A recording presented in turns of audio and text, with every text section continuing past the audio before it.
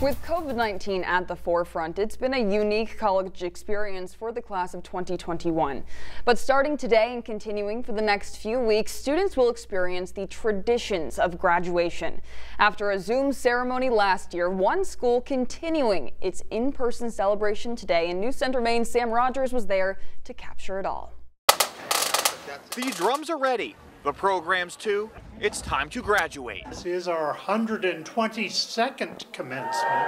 And the most unique. With masks on, these Husson University Eagles are ready to walk or fly across that stage. It feels good. It feels a little bit surreal kind of being here. It feels so wonderful. I've been working so hard for four years now to put myself through this health sciences program. Feels great. Finally done. it feels amazing. It's like a dream come true, really. A dream come true after a nightmarish end to their college experience. My classmates and I have juggled a lot this year, um, so I feel a lot of pride that we finished really strong. And to get through it with online classes and the adjustment for everybody, it's definitely been weird. Time for action. Obviously, the class of 2020 didn't, so we're just really thankful today that we got this.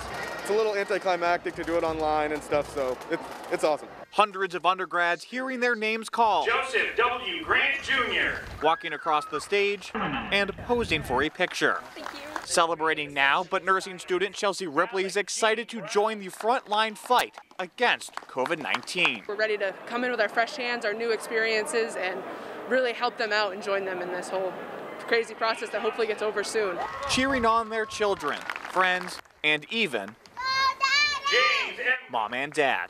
In Bangor, Sam Rogers, News Center, Maine.